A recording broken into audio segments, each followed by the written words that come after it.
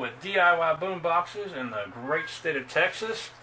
And I'm doing a little video that was requested by a few people uh, wanting to see the inside of the wiring of these boxes in more detail and for me to explain uh, the wiring and how I do a little wiring tutorial of how I do the wiring on the boxes. So what I'm going to do is I'm going to show you two different styles.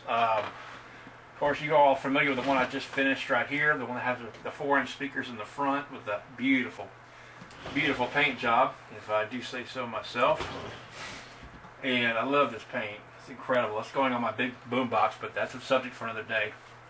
Uh, the other one I'm going to do is a little bit different style. This is the Houston Texans box that I did a while back. You guys saw the eight-part tutorial I did on this one. And of course this one has the larger speakers mounted on the side because these speakers will not fit side by side on the front. These are four inch speakers. These are five and a quarter. And this one, uh, this unit is Bluetooth only. Uh, this the Houston Texans box has the Bluetooth with FM built into it. So on this one here, the amplifier has the Bluetooth built into the amplifier, so you don't need anything extra. On this unit here, it has just a regular amplifier with no Bluetooth, and the Bluetooth actually comes from the FM radio that's, that's built into this nice little FM decoder. And th these are fantastic. These are seven bucks at Amazon, and they're absolutely fantastic. So anyway, sit back and relax. Um, Duke's going to make an appearance at the end of the show, so I hope you guys can stick around for that. Uh, see Duke. Everybody loves Duke. If this is your first time you're seeing one of my videos, Duke is my cat and he loves to get in front of the camera.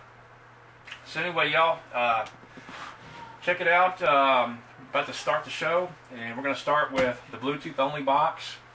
And after that, we're going to switch over to the Texans box, and I'm going to show you the inside and how I personally do my wiring. I use different colored wires for different things. And I'll explain that, you know, for anything coming from the battery, I'm going to use a red wire for the positive, black wire for the negative.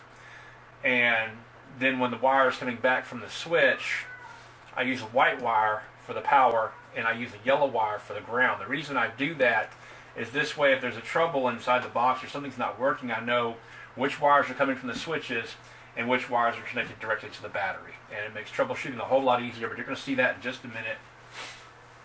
I went ahead and pre-recorded all this before I'm doing my little monologue here. So sit back, relax, as Bob Ross says, get your big old glass of iced tea, and relax and uh, enjoy the show. Okay, everybody, I've now got the box open, as you can see, and I have it angled a little bit so we can see the inside. And what I'm going to be doing is I'm going to be zooming in on different parts and showing you how the wiring all comes together. So we're going to look at the wiring on this box, and then we're going to look at the wiring on my Texans box. So let's start over here. Let me zoom in a little bit. I'll be pointing different things. Okay, obviously you can see right here, you can see we have the battery right here. Now I have the battery turned sideways so it has a lower profile and it clears the battery connector that comes right here. Now this is where the power comes in from the battery charger to plug the battery. Now the way I do my wiring is anything coming from the battery or going to the battery is going to be red for the positive and black for the negative. So you can see right here my main connection it, where all the negatives come together is right here and this is where all the positives come together right here. And as you can see up here I have a fuse. The fuse is connected directly to the battery then everything on the back side of the battery is running through the fuse and running to this main connector right here. Now I also continue the red wires as we go over to the switches. You can see I have two red wires these are these are coming from the battery from power over to the switches because the switches have to have power. So when you get to the switches, as you can see right here, there's a red wire coming in to provide power for the switches, as you can see right here. Now, whatever is leaving the, the switch, normally I would do in white. And to, the white wire is the hot wire coming from the switch and taking power to wherever it's going. In this case, I'm going to show you guys right here, is you follow the white wire as it comes down over here to the amplifier. Let me try to zoom in on that a little bit. So you can see right here is where the power comes in to the amplifier. And we also have a black wire going to the amplifier as well, going back over here to our junction point. Now the other thing I do is you see this yellow wire right here? My yellow wires are the ground wires coming from the switch going back. This way if I have to troubleshoot, I know that if I see a yellow wire, that's going to be a ground wire. And the white wire is going to be coming from the switch carrying 12 volts to whatever it's powering. In this case, it's going to be the amplifier. Now, I did something a little bit different here. Let me back out a little bit. As you can see right here, come on now. That's the, right here, of the voltage meter and the USB port. Now, they came with their own jumper wires, so you can kind of wire them together and jump them over here. And you can see here I jumped the ground from this switch over to this switch and I also jump the hot going from this switch over to this switch. So this switch now has the hot wire coming in and going over here and it again it jumps from here to here because the one switch is controlling both the voltmeter and the USB port. This switch over here is the master switch. As you can see the white wire comes over here and plugs into the amplifier that has a Bluetooth built into it. And as you can see right here again all of my hot wires coming from the battery come together at this point, and all the grounds come together at this point. So that's basically all it is to the wiring, and uh, I'll show you right here. Now this is where the battery charger actually plugs in. So we've got a black wire going straight to the battery, and a red wire going straight to the battery as well. That's why those are black and red. Again, the, the, I only use a yellow wire, which is the ground coming from the switches, and I'll show you that better when you look at the um, the other box. But basically, that's just a quick tour of the inside of a Bluetooth only box. Uh, very simple. Again, you got your amplifier here, and you can see the speaker wires coming out down here. This is your power that plugs in right here. If I can get that unplugged here. I got arthritis, so it's kind of hard for me to move my hands. But you can see right there, there's the hot coming from the switch and the ground. And it's going to plug in that hole right there. And of course you can see the speakers poking through right there. And that's basically all there is to these boxes. These, if this is your first project, it's very, very simple. And if you're one of the people that are just watching my channel and you want me to build you a box, I just want to show you the quality wiring job that I do. Now normally this is all full of insulation. You can see I have the insulation back here. I took the insulation out for photographic purposes. But uh, you can see it's just uh, very, very basic. Okay, now I'm going to show you the inside of the Houston Texans box because it's got a radio built in and a bigger amplifier. So it's a little bit different setup. So let's take a look at the inside of that and I, I hope this helped um, understand the basics wiring for the box. So I'll be right back. Okay everybody, we're back and now we're going to look at the inside of the Texans box. It's uh, wired up very similar to the other one. It's got a little bit more stuff in it, so I thought I'd just kind of walk you through it to uh, see what it takes to do a Bluetooth with FM radio. Uh, we'll start over here with the uh, box. Let me zoom in here real quick. Now you can see with this one I've got uh, a lot much bigger amplifier. This one's about twice the size of the other one. And you can see right here the amplifier is actually sitting on top of the battery. It's the only place I had some room for it. I did put a port tube on this one just to try something a little bit different. This one does have larger speakers. Uh, you see the speakers are mounted in the sides. Right here, these are five and a quarter inch speakers. The other one had four inch speakers. And let me show you over here the wiring for the speaker, for the uh, the radio and everything. Again, you can see on the switches, we have the red wire coming in here, bringing power from the battery.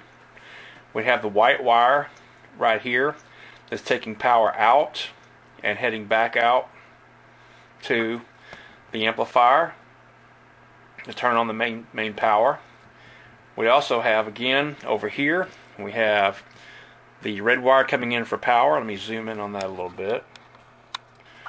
Uh, white wire is the switch coming out and that one runs over here to again run the USB port and the, you can actually see the white wires coming in right here to offer power to power these up. The yellow wire coming out again is the ground. You can see right here the ground coming off the switch. And right up here I kind of tied the grounds together. And we have more grounds. We also right here have the negative and positive for the radio itself. And then these right here are the speaker wires for the FM radio with Bluetooth. And right here, this little tiny little wire right here is actually the antenna. And you can see you also want to, you know, tighten your wires up really nice and neat with some zip ties and keep everything nice and neat. This junction right here, these two uh, connectors here, actually with the speaker wires join the. Actually, these are the wires that are actually going to the amplifier, but they are the speaker wires coming from the radio here and coming together here and coming down as you can see down to the amplifier. Now I want to show you a little setup I have real quick here. Let me see if I can move the camera here so you can see this real quick. This little device right here it's called a ground loop isolator and you can see this is where the speaker wires come in and this little adapter plugs in to this device right here, the ground loop isolator, and you can see the ground loop isolator plugs into the amplifier right here. What this device does is sometimes when you have a Bluetooth circuit and an amp coming from this radio here, you're going to get some humming, and the ground loop isolator will eliminate that hum and give you a nice crystal clear sound. Again, you can see the battery right there underneath, and of course right here just like you saw on the other one. That's where the battery charger plugs in to plug in the battery and charge the battery. Now on this one I have an internal antenna. So you see this blue wire that I have that wraps all the way around like that. What that does, that comes from this yellow antenna wire, comes down over here, and you can see right here in this uh, little connector right there. Let me see if I can zoom in on that. You can see right here, this little connector, the blue wire is connected to the antenna wire right here. And then the antenna wire makes a loop inside the box. Now you you can't really get away with this in a metal box because the metal box is going to shield the antenna, but in a plastic box you can get away with this. It's a great way to make a cheap antenna. I've probably got, oh, I don't know, maybe 16 or 20 feet of wire coiled around right here in a loop and it just terminates somewhere in here. We had a little connect. I just pulled the insulation off in there. And again, if you zoom in, you can also see we have some speaker wires down here with the connectors coming from the amplifier right here and uh, right here. Um, you can see right there. Let's see if I can zoom in on it here. These red black wires are the power that are going to the amplifier. So what what I did was the power coming off the radio is also tied in to the switch here that's, that's controlling it and with the amplifier they're all tied together and that's what turns on the amplifier and the radio simultaneously. Now you can see right here these two connectors this is where all my hot wires are coming from the battery after they're going through a fuse you always want to fuse your projects first. So anything coming from battery goes through a fuse first. That protects your components. And then right here you can see the yellow and the black grounds. The blacks are coming from the battery. The yellows are coming from the switches. And we also have uh, black coming from the amplifier itself. And they're all tied together right here. And um, the wiring, it looks looks a little intimidating. It's not that bad as long as you take your time. Again, you know, try to make your wires look you know, nice and neat and everything. And you can see it's uh, where I cut the hole there for the radio. It's a little bit of a rough cut. And um, got it held in with some screws. And just take your time in uh, wiring something like this. But that's basically all there is to it. Uh, if you guys have any questions, please let me know. I think Duke's over here talking. Let's see if we can say hello to Duke real quick. Hi, Duke. Duke, come here. There's Duke the Wonder Cat. Let me see if I get him to. Oh, he's doing his own thing right now, being Duke. Anyway, so that's the inside of the Texans box and the other box. I hope this helped answer some questions about the wiring. Um, it's pretty straightforward. Just some, like I said, I like to use different colors to represent what's what's happening. So I use red coming from the battery for the positive, black coming from the battery for the negative, and the uh, amplifiers. The yellow wires are the ground coming from the switches, and the white wires, as you can see, are the hot wires coming from the switch going to different components. And that's how I'll trace things down if I have a problem. These are fun projects to build. As you can see, if you're one of my customers, how I do the wiring all nice and neat and try to do good quality work. So, thanks for watching, everybody. Let me see if I can say hello to Duke one more time. There's Duke. So, hi, Duke. He says hi to everybody. And you guys, thanks for watching. And I hope this video helps. Have any questions, let me know. Please subscribe to my channel, DIYBoomboxes.com. I mean, uh, DIY Boomboxes. And um, check me out on Facebook at I Love All Things Radio. There's Duke. See if I can pan back a little bit. We can get a good shot of him there. There he is. He's having a good time. So Duke says hello. So from for Duke, myself, everybody have a great evening, and we'll talk to you later. Bye, Duke.